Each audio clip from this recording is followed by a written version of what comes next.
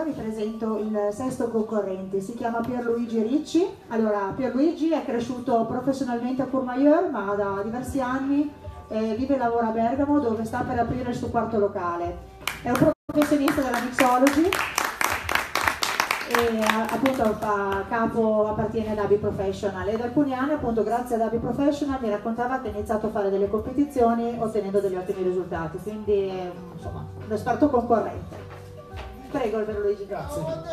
Solo una piccola premessa, io sarei già pronto. Eh, ho pensato molto al concetto di replicabilità per quanto riguarda il cocktail quindi sarò molto veloce nel farlo. E adesso faccio una specie di preparazione un pochino più elaborata, ma comunque tutti gli ingredienti che io sto usando si possono mettere direttamente nello shaker e, e servirli così automaticamente, senza fare questa preparazione che io ho fatto, che è un pochino scenografica.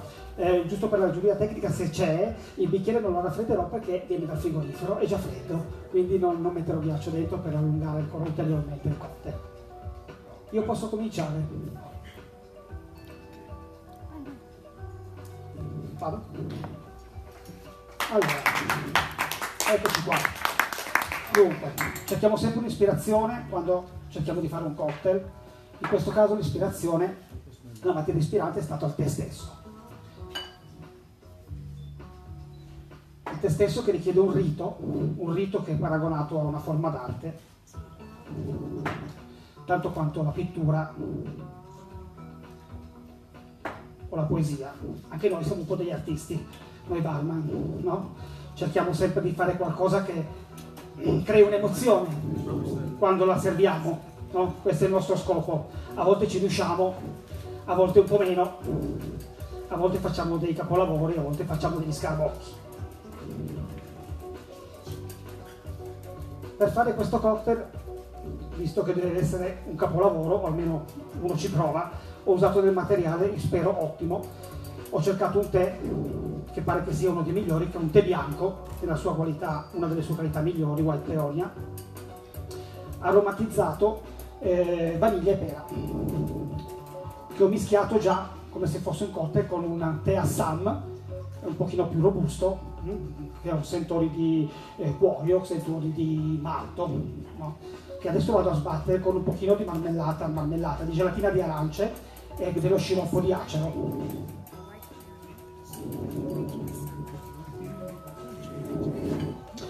Come parte alcolica invece ho voluto fare un incontro fra Occidente e Oriente. Metteremo del Jack Daniel Honey, il prodotto che mi è piaciuto molto subito dall'inizio, molto miscelabile e ottimo. Scusate quando faccio le dosi interrompo perché ho sempre paura di sbagliare e non è la prima volta che mi succede. E un pochino di Walls mente cacao.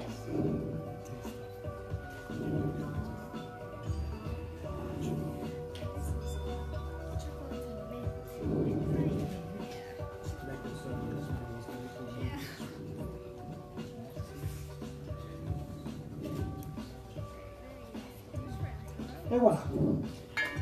Anche nella guarnizione sono stato abbastanza sbrigativo. Ho fatto una guarnizione simpatica, ma moderna, sempre al massimo della replicabilità e anche commestibile, perché è fatta di frutta.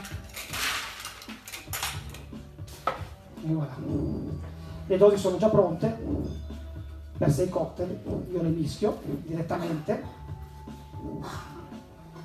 le sbattiamo ancora un pochettino la gelatina di arancia e lo sciroppo di acero mi servono per dare un pochino di corpo al, al cocktail perché ho notato che il tè è difficilmente miscelabile. Cioè resta sempre comunque bisogna stare attenti un po' di acquosità.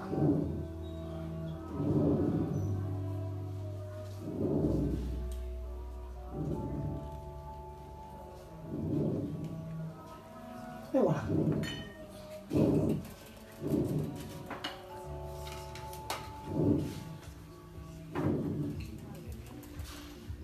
lo raffreddiamo ulteriormente.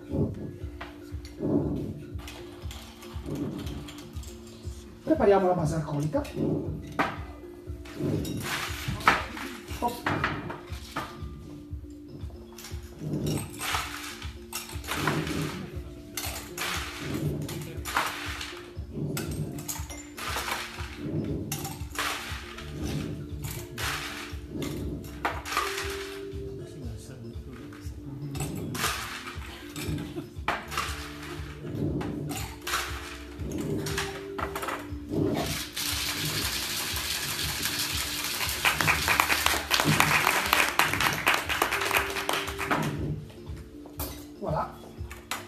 bicchiere, ho scelto un bicchiere di uso comune, un tumbler basso del bicchiere, ma che tutti possano reperire.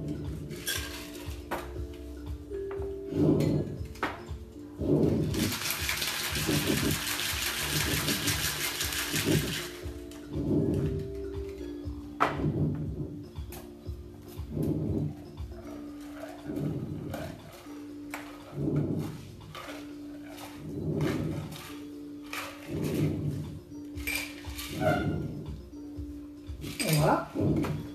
E ora uniamo il nostro tè.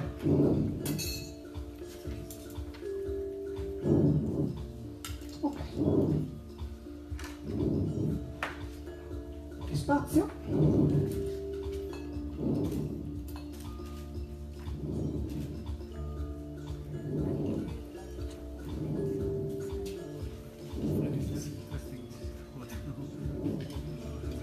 Molto profumato, sono un sacco di sentori, c'è anche il fiordaliso come profumo del tè bianco. Ho scelto il tè bianco perché è un tè importante, un tè che anche lui all'interno della sua raccolta ha un suo rito, viene raccolto solo due volte l'anno e solo le parti apicali, non viene trattato in nessun modo, è totalmente naturale. Scusate non ho spiegagrumi perché sono in pieno trasloco e non trovo più nulla. Perfetto. Ecco qua. Molto veloce, molto rapido. La decorazione. Un po' spiritosa.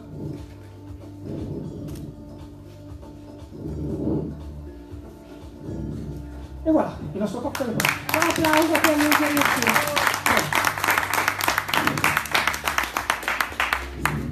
Adesso passerò con dei biscottini salati al, al pesto, che quando lo assaggerete ve ne offrirò uno perché secondo me è uno stacco molto deciso. Il cocktail è decisamente dolciastro, ma col salato del pesto secondo me ci sta molto molto molto bene.